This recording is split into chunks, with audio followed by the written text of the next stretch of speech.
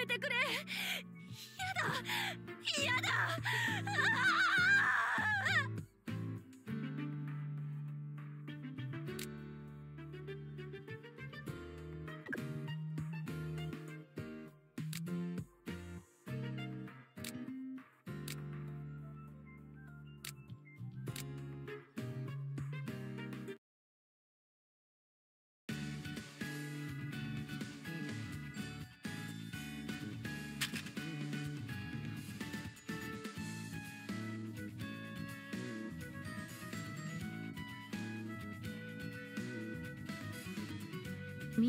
カリンはいつ戻ってくるのだ。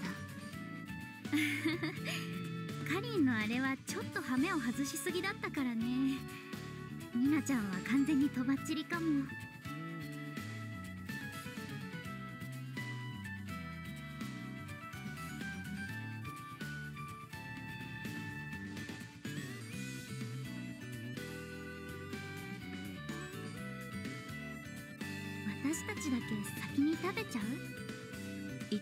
ただきますは4人揃ってがルールだ。まとうーんお腹すいたね。ならば。あれ？やっぱり食べる？違う。これは。エア牛丼だ。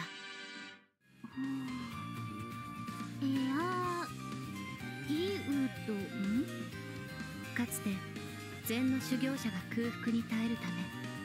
温めた石を海中に入れたことが懐石料理の始まりと言われる。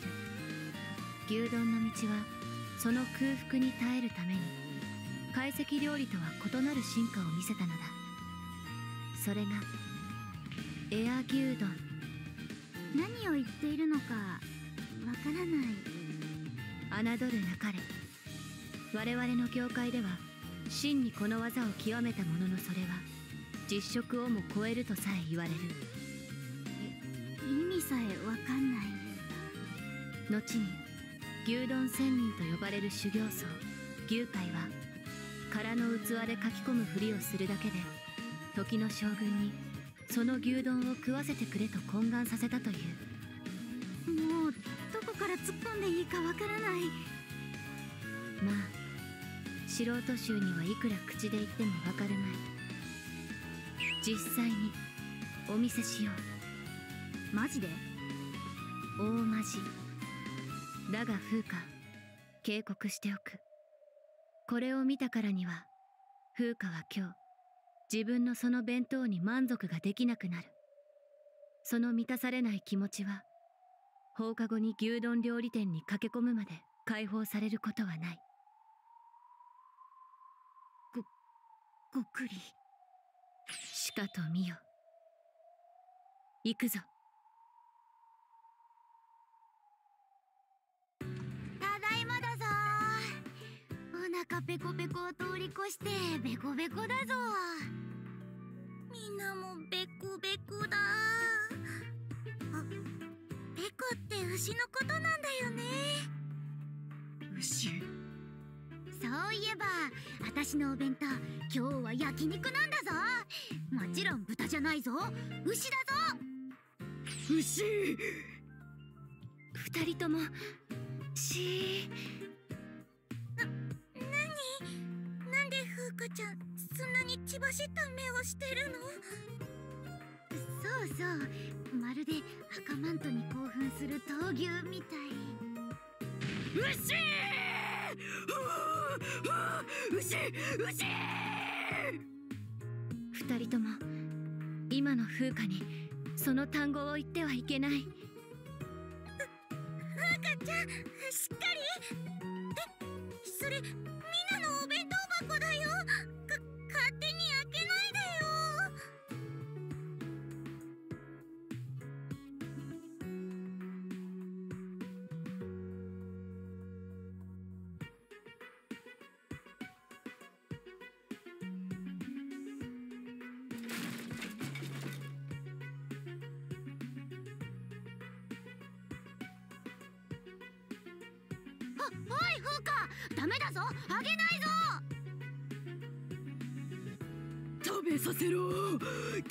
とご飯を一緒に一緒に丼で食わせろ！ドレミちゃんまさかあれを風花ちゃんに見せた？すまない。話の流れで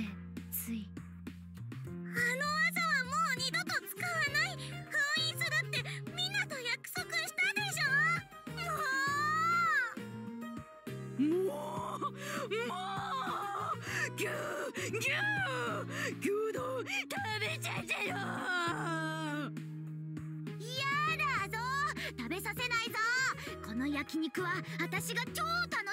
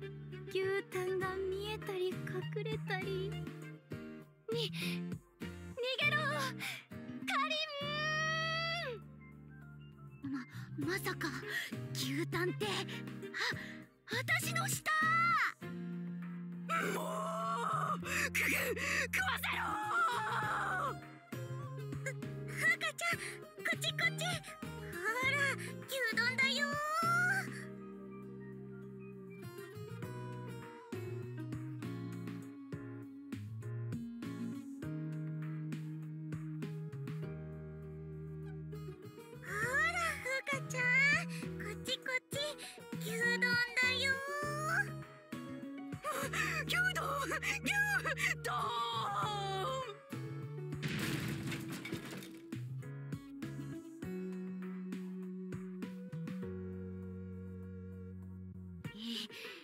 一体何だったってんだぞ。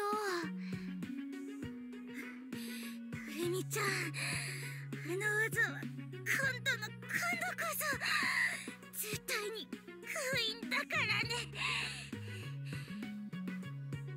省する。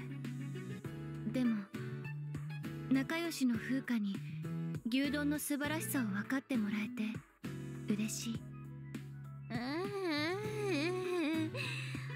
お星様がいっぱい見える。風花お詫びに今日の放課後は私が特盛りをおごるからな。腰を据えてちゃんと食べるぞもうお腹ペコいやペコペコだぞ。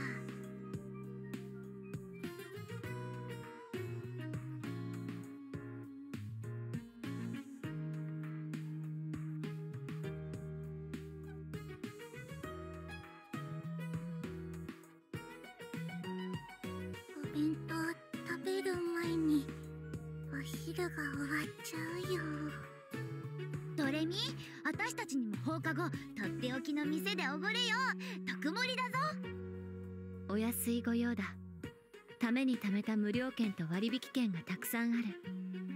卵も味噌汁もいいぞ。やっぱりトレミちゃんのあの技は呪われてるよ。とほほ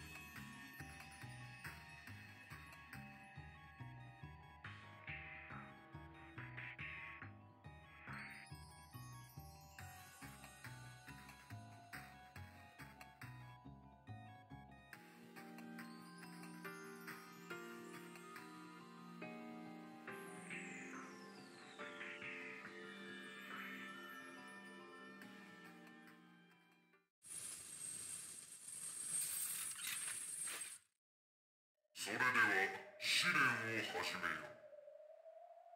時間は5分。君たちの本当の姿を存分にさらけ出したまえ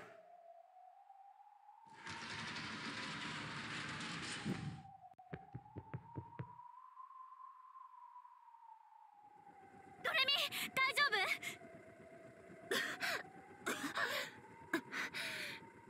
夫喉が潰れるかと思ったどどうすればいいのどうすればいいのドレミの拘束を解く道具を探そうあるいは鎖を切断できるような何かがま待ってくれみんな話を聞いてくれどうしたのみんな私を助けるために何かを探そうとしてくれてありがとう。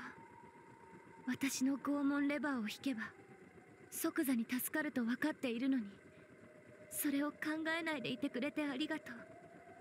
おい何を真っ先に諦めてんだよ。いやこれは私なりの最善の考えなんだ。死刑囚の私が1秒でも時間を無駄にしないことが何よりもの最善となる。そそれってどういう？首輪は拷問レバーを引けば外れるという。死刑囚は私だ。なら私の拷問レバーとやらをさっさと引けばすぐに解決だ。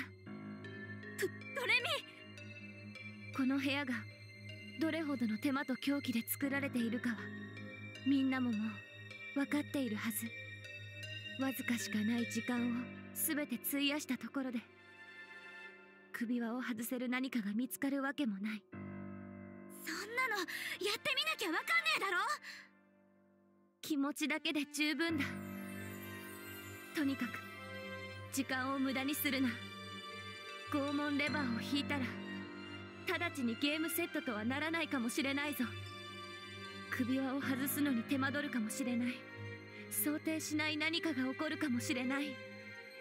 3人が少しでも生き残る可能性を高めるにはこれしかないんだ。ドドレミちゃん。いいの？本当にそんなのでいいの？他に方法は一つあることにはあるがななんだよそれ。その方法はなんだよ。私の代わりにミナを犠牲にすることさ。ミナはピエロ。死刑囚が生き残る唯一の方法は無罪宣告によってピエロと死刑囚を交代することだけだ。だがミナ心配するな。そのようなことは望んでいない。お前は私の一番の親友だ。どんな考えを巡らせたところで皆を犠牲にする以外に生き残る術はない。大好きな皆を犠牲にして生き残るくらいなら大好きな皆のために自分が犠牲になって笑顔で見送った方が100万倍も生成するさ。ドレミちゃん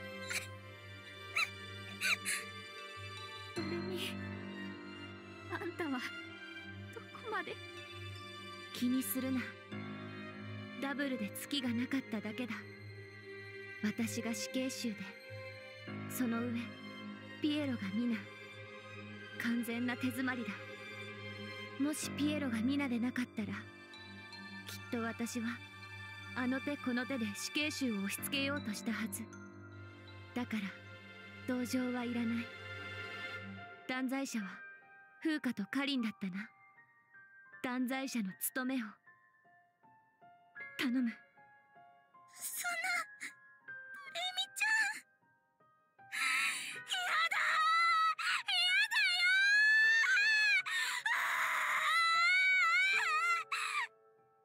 皆に会えてよかった。素直に生きられない私は勝手に傷つき勝手に苦しみながら生きてきた。そんな私にとって皆に笑顔を向けられている時だけが心が楽にできる時間だったんだ。皆のために死ねるなら。そして皆に泣いてもらえるならそれで十分だ。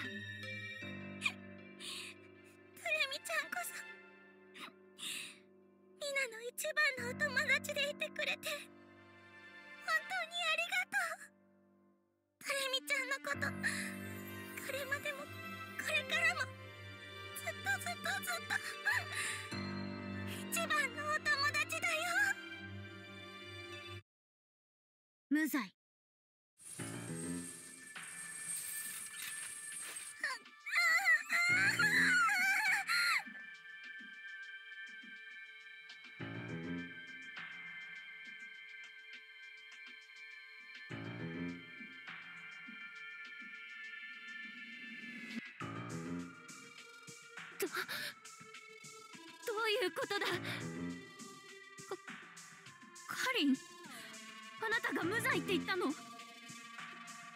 断罪者の権利だろそして私だけの権利になったわけだ。それじゃあ次は有罪。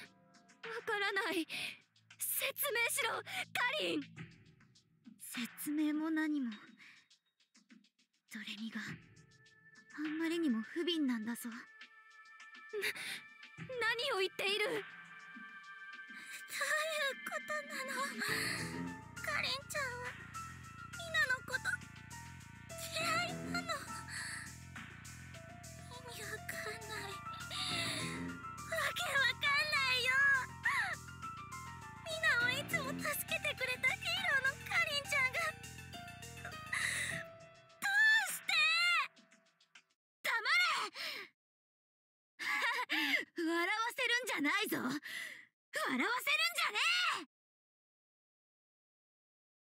え。みな私だって本当はあんたのこと好きだったんだぞ。みなの何気ない仕草。何も考えてない無邪気な仕草。みんなみんな大好きなんだぞ。でもそれは子犬や子猫が見せる仕草に可愛いって感じるのと同じなんだ。今日まで私が皆に感じてた行為感じさせてた行為は全て犬猫が見せる仕草に感じるのと全く同じ感情だったんだ。意味がわかんないよ。そうだよな知能も動物並みの皆にもわかるようにはっきりと言ってやるぞ。私はなずっと以前から人間としての湯浅皆のことはとっくに大嫌いだった。あんたとはためには親友同士に見える付き合いがあったのは単に私があんたとじゃれていたに過ぎない。人間としてはとっくに見限ってるお前とは動物だと思って接してたってことだよ。嘘だよ。あんなに優しくてかっこよかったカリンちゃんがみんなのことをそそんな風に思ってたなんて。嘘じゃない。というかそう思えてたなら私に感謝しろ。こびて愛嬌を振りまくしか脳のねえ愛玩動物に対等に感じられるように接してきた。私に感謝しろ。嘘だよ。わかんないよ。わかんない。ドレミは知ってた？うすうすはなみなちゃんは本当に気づいてなかったんだね。こいつは本気で本当にただの動物だからな。自分の損得のために愛嬌をばらまく以外は何も考えなんか至らねえさ。嘘だ。嘘だ。かりんちゃんがみんなをそんな風に言うなんて。嘘だ。カリンこんな時だが聞いてもいいか？お前は根に持つようなタイプじゃない。そのお前がそこまで根に持つほどの何をミナはしたんだ。豚側って覚えてるか？え？覚えてる。本当の名前は忘れちゃったけど人のものを勝手に取ったり壊したり。体格の大きい乱暴な子だったよ。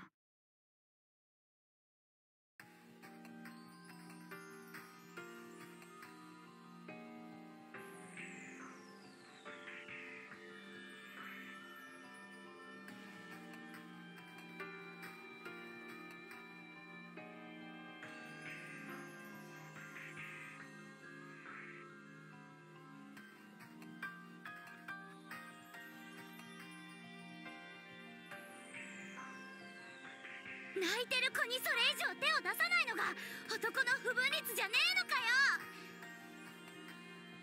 おい聞いてんのかよ豚川。待ってこらおい完熟じゃやめなよ。あんな奴に関わったって何も得がない。だからってみんなが見て見ぬふりをした結果があいつの増長なんだぜ悪党の種は見て見ぬふりという水をかけて初めて芽が出るんだぞ。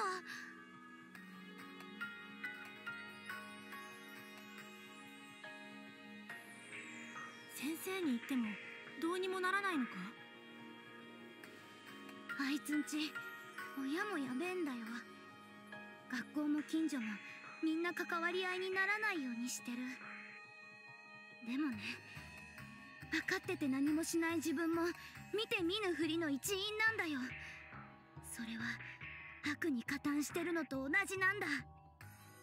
私は次は黙って見てないぞ。次こそ私の勇気と正義を見せてやる。かりんってやっぱかっこいいな。僕は仕事と看板を背負ってるから。正義とかと関係なく喧嘩ができない。それを自分の臆病の言い訳にしているような気がして。自分にも腹が立つよ。ソラ君が気にすることはないぞ。正義に立ち上がる者は選ばれし者でなくてはならない。ソラ君は選ばれし者ではないってそれだけのことだぞ。でもソラ君の正義を愛し悪を憎む気持ちは私の力になるんだぞ。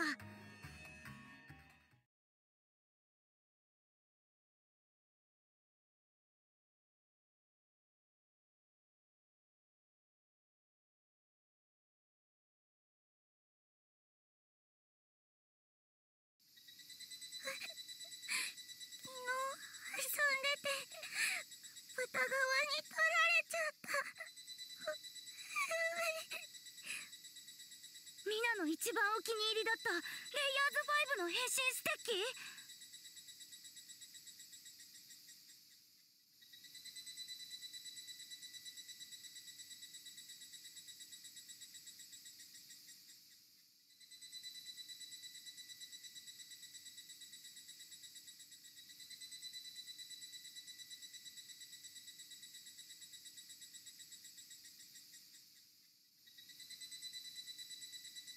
ミナよく話してくれたね。その小さな勇気私は尊敬するぞ。でもまあ諦めたよ。豚側に取られたら絶対に帰ってこ豚側も自分が取ったものは絶対に取り返されないって信じてるだろうね。え？みんな今が正義を遂行する時なんだ今こそ豚側に天誅を食らわせてやろう。私剣道道場に通ってるのは知ってるよね。それに男子にだって喧嘩で負けたことはない。それは知ってるけどでもいくらかりんちゃんでも豚川には。勝てないと思う？いや勝てるよ。正義は絶対に勝つんだ。それにねどどんなスーパーヒーローだってたった一人で戦ったってその力はたかが知れてる。それは悪党だって同じだぞ。一人ならその力はたかが知れてるんだ。つまり一緒に戦おう。え？私一人でだって負ける気はしないよ。でもさみんなも勇気を奮い起こしてほしいんだよ。豚側には勝てない。仕方ない。諦めるしかない。そういうのをさ私たちが打ち破るんだよ。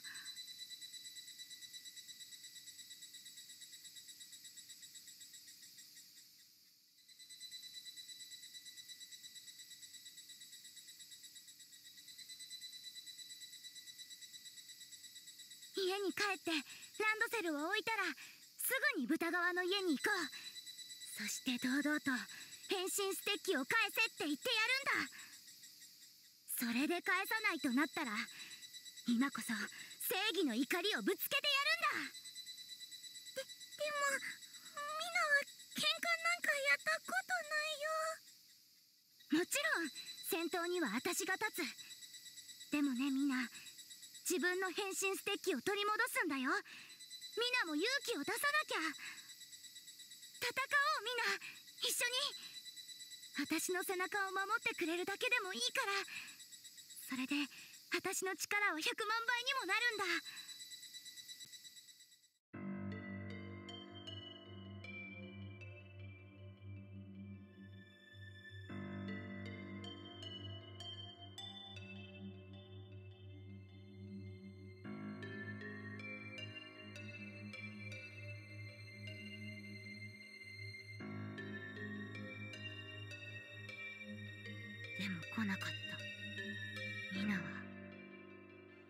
までたっても来なかったんだよ。でも私は待った。待ち続けた。きっとミナも怖いに違いない。小さな勇気を振り絞っているに違いない。だから待とう。ミナが来るまで待とう。そしてミナのその勇気に応えるために絶対に豚側をぶっ飛ばしてやろうって。空がどんどん暗くなって急に大粒の雨が降り出したけれど私は待った。あんたを信じて待った。でも結局あんたはとうとう来なかったんだ。それでどうしたの？ミナは現れなかった。でも傘を差してどこかへ遊びに行こうとしている豚側は現れたんだ。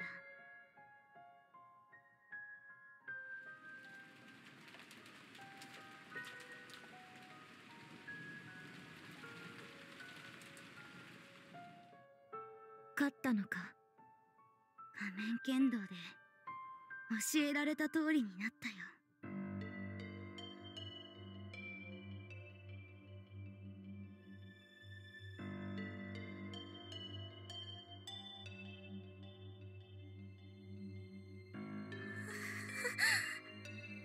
みんなが来てくれてたら勝てたんだ。みんなが来てくれてたら来てくれてたら。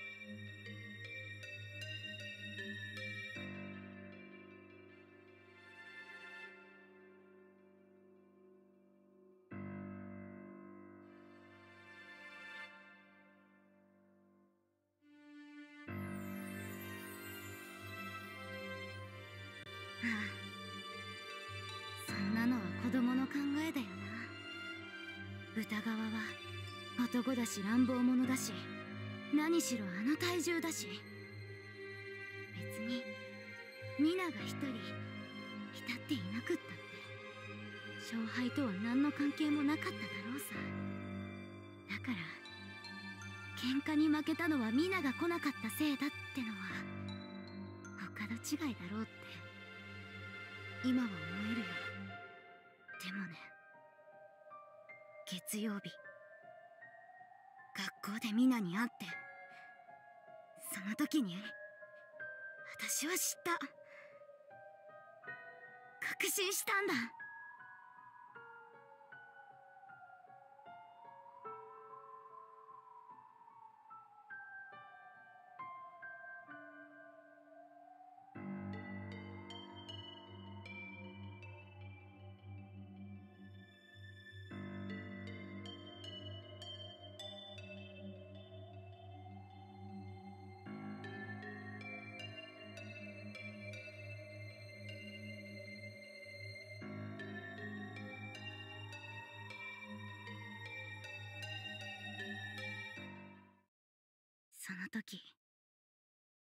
私の中で湯浅美奈ってこの本性が初めて理解できたんだよ。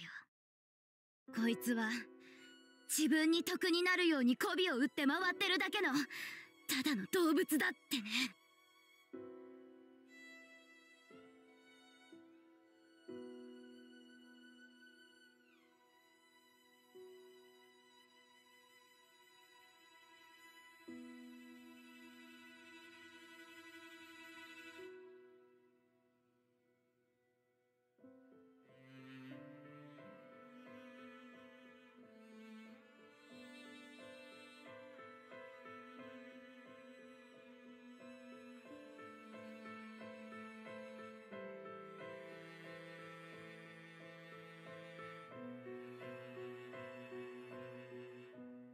ところさ。あの日私は湯浅美奈っていう一人の人間に冷めたんだよ。でも美奈は可愛いよね。愛嬌があってコロコロふわふわしてて。まるで子犬や子猫ペットみたい。だから私は決めたんだ。今日からあんたのことは可愛らしくじゃれついてくる動物だと思って接するってね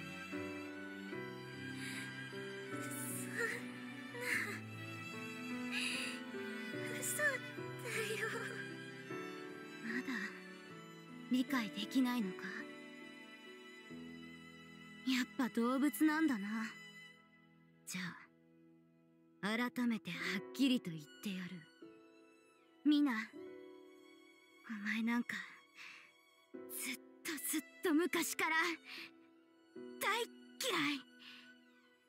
この程度の言い方じゃ動物のお前には伝わらないよな。もう一回言ってやるよ。お前なんか昔から大嫌い。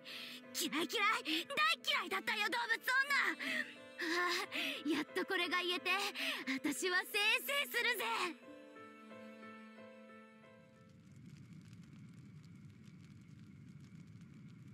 わかんないよ。わかんない。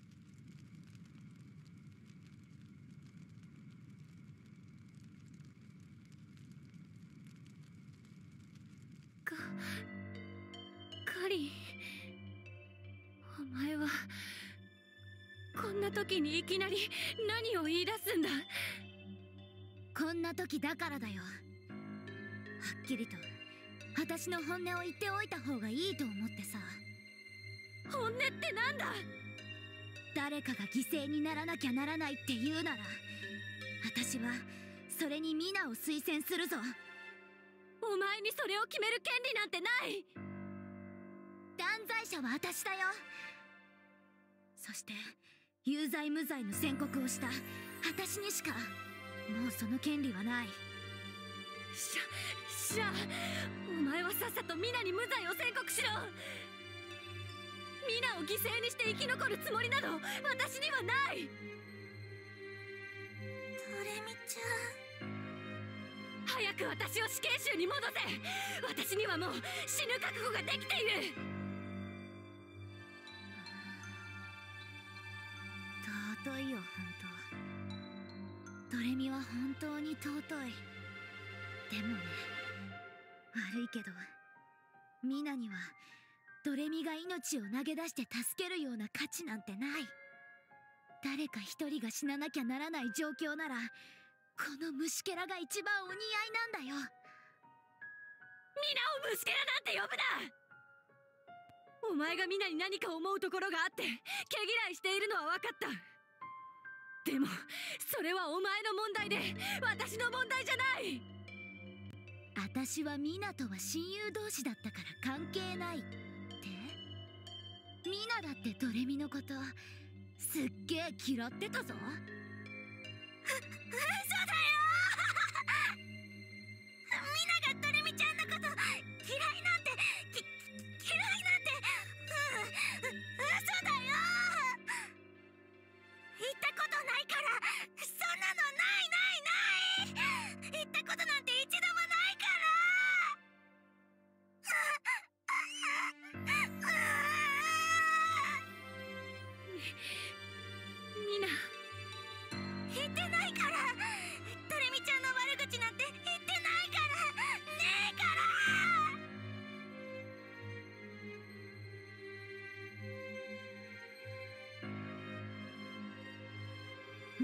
人の前じゃ可愛らしいマスコットみたいに愛嬌振りまいてるけどさ。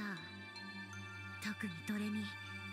あんたがいない時は結構態度が違ってたぞ。な風花あんたも一度や二度ドレミが席を外した時に悪口言ってたの聞いてるよな。言ってない！言ってない！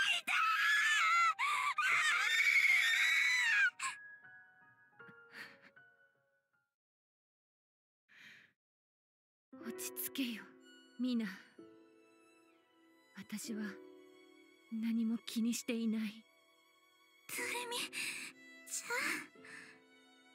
私だって伊達に女はやってない。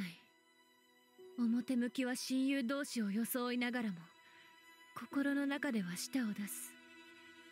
私だってわかるさ。だが友情なんてものは相互的なものではなく常に自分が主体なものではないのか。私は自分が成人だなどと思ったことはない。誰にも一度も恨まれることなんかしたことがないなんてどうして言えるのか。だから仮にミナが私に不満を持っていたとしてもそれに驚くことはないさ。むしろ感謝したいさ。私に本当は思うところがあるだろうに。それを私に感じさせないでくれてありがとう。ミナが私を本当は何だと思っているのかなんて私には何の関係もない。中学2年の頃一番私の辛かった時にいつも一番近くにいてくれた。それだけで私はミナに命を多分3つか4つはもらえてる。それを思えばミナにもらった命を1つ返すことくらい何の問題もない。ドレミちゃん。ミナはカリンのこと大好きだったな。そのカリンに辛い言葉をぶつけられ辛かっただろうと思う。でもカリンを責めるな。私と同じにどうかそれを感じさせることなく今日まで親友でいたことにどうか感謝してやってくれ。感謝？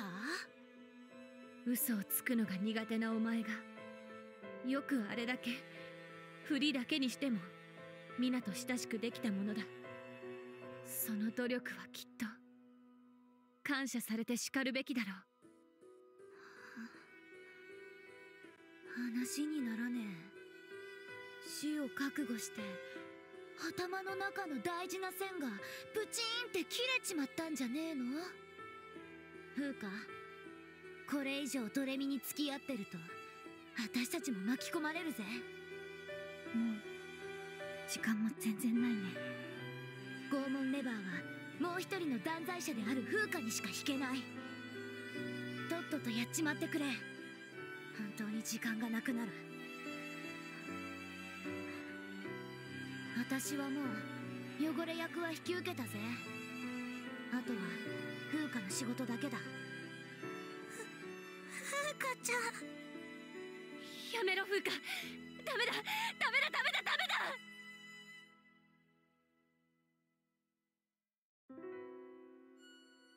私の拷問レバーを引けば解決なんだ。ミナノを引く必要はない。でも私にはドレミを死刑囚に戻すことはできないよ。私はドレミを犠牲に虫けらを助けるような真似は絶対にしないぞ。カリンじ時間がないよ。下の炎どんどん強くなってる。私は死にたくない。だからさっさと犠牲者を決めたい。だからその犠牲者に私が立候補している。それがドレミの願い？そうだ。いえ違う。命令だ。今すぐもう一度無罪と言って私を死刑囚に戻せ。それができないならお前の自分は死にたくないという願いを邪魔することもできるんだぞ。時間ないよ本当に。ミーナドレミがあんたの代わりに死んであげたいってさ。それに対してさ何かコメントはない？それが感動的だったりしたら私の気持ちも動くかもしれないよ。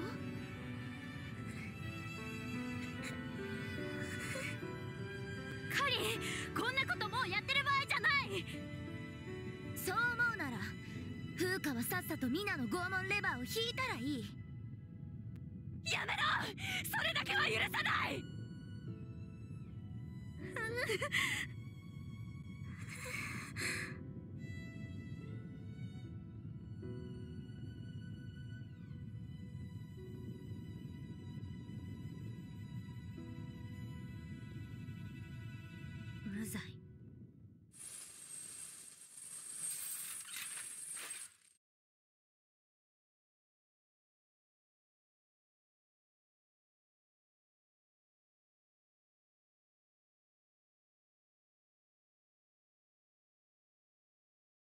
有罪。それでいい。ありがとう。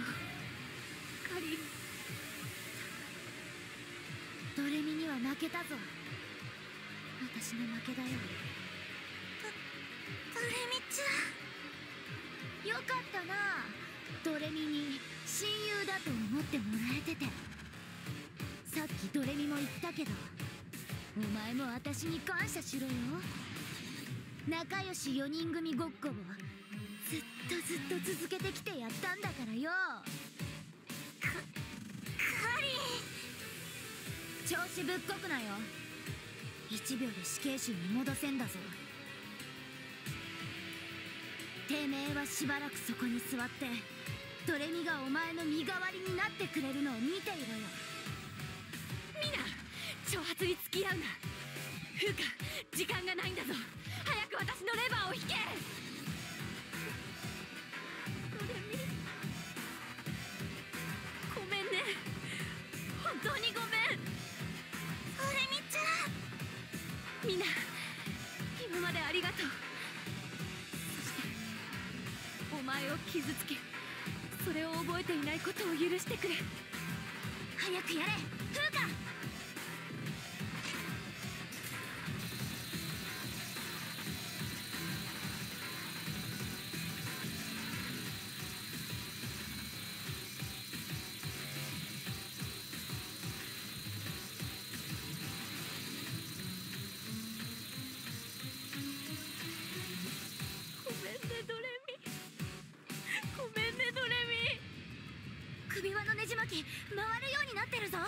これで外せる。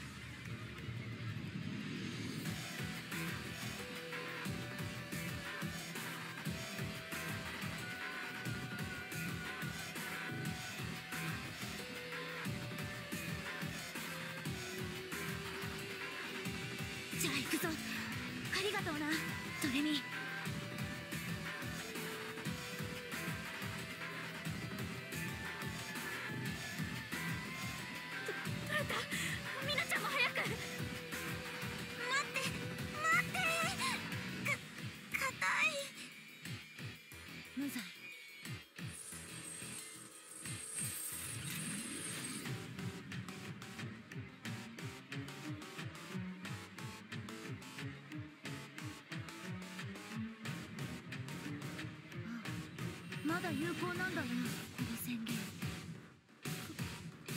カリン一体何を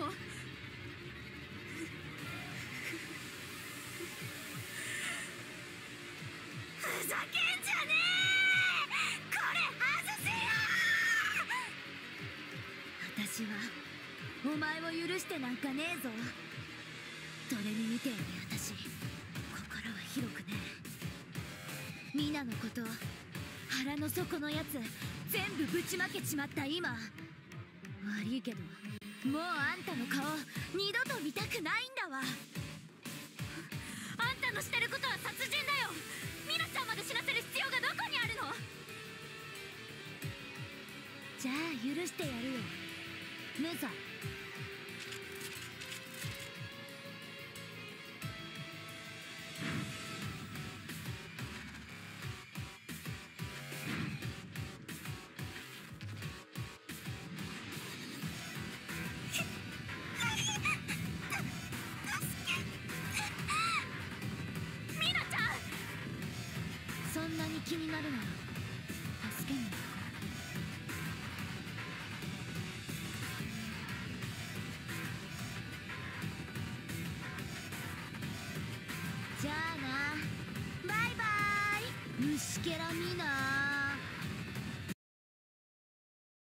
彼女たちの醜い姿を見せ続ける私が憎いかね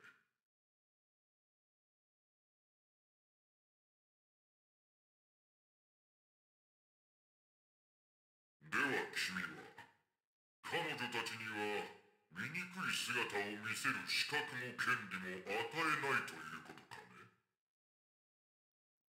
君は彼女たちを。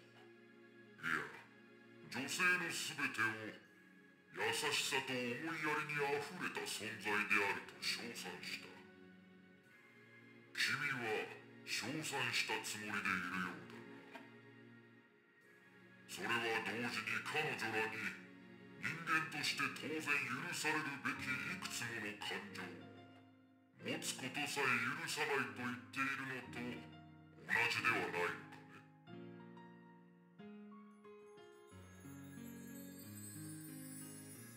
えたまえ少年よこれで君のために用意した惨劇は8度数えた。終わりの時は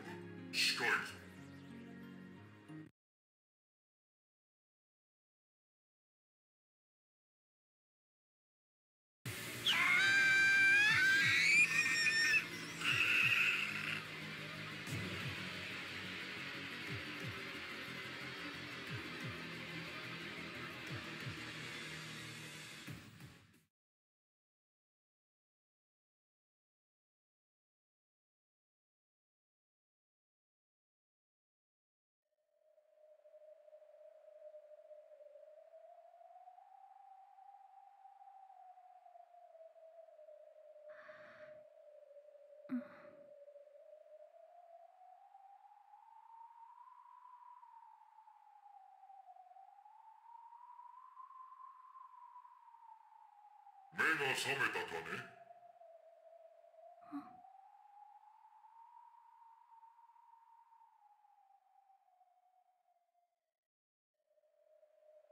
それではこれより君の試練を始める。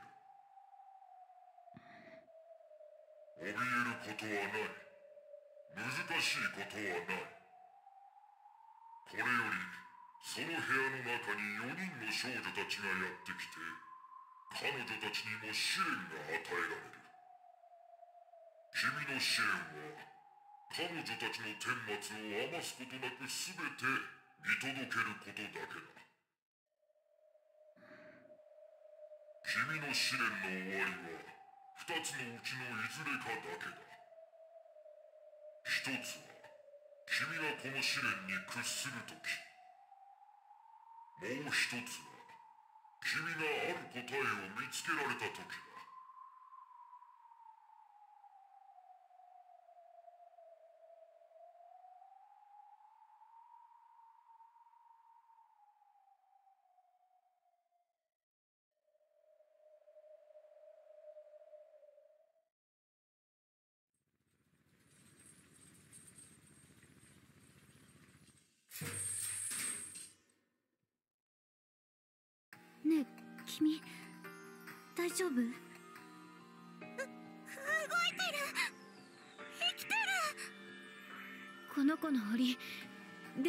ない。ほ本当だ。じゃあどうやって入れたわけ？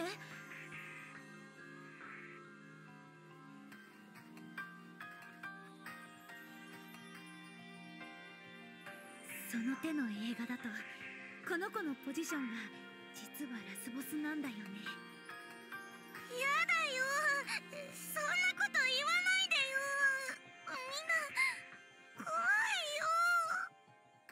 やっとカリンが軽口を言えるようになった。ねえ僕ひょっとして空くん？え？この子元木空くんだよね？元木空ってあの小学校の時に少しの間だけ来てた転校生のことか？そういえばに似てるかも。いやいやそれはないぞ。ちょっと暗そうな雰囲気が似てるだけで顔とか体格とか全然違うぞ。それだけじゃない。年齢だって明らかに違う。この子はどう見ても小学校に入るかどうかくらい空くんのような大人びた感じはない。まさか空くんの子供とか？ありえないよ。なんで断言できる？ありえないから。まあそうだよな。空くんは私たちと同い年だ。この子が56歳だったとしたら中学生くらいの時にはもうパパになってなきゃならない。それは確かにちょっとおかしいよね。じゃあ空くんの年が離れた弟とかそんなの聞いたこともない。ごめん。空くんのわけがないもんね。異常な状況でちょっと混乱しちゃってたでもさその風花の推理案外いい線いってるのかもしれないぞ。どういうこと？だって空くんは旅芸人の一家だぞ。つまり芸能人ってわけだ。そっかひょっとして転校していった後にすっごいビッグになっちゃって？熱心な谷町がつくと札束がボンボン飛び交うとテレビで聞いた。どういうこと？つまりこれは全て空くんが仕組んだことだっていうの？私たちの知らない間にビッグになってる空くんがさ古い友人の私たちを驚かそうとさこんなびっくりを用意したってわけ。そう考えたら納得できるよね。いかにも映画のセットって感じだもん。きっとさあちこちにカメラが隠してあるんだよ。ほらバラエティ番組みたいに。イエーイ湯浅みなだよ。みんな見てる？空くんがありえないよ。同感だな。この状況を説明可能なピースとして無理やりこじつけたに過ぎな。いみんな怖いんだ。茶化しでもしなきゃ。心が押しつぶされる。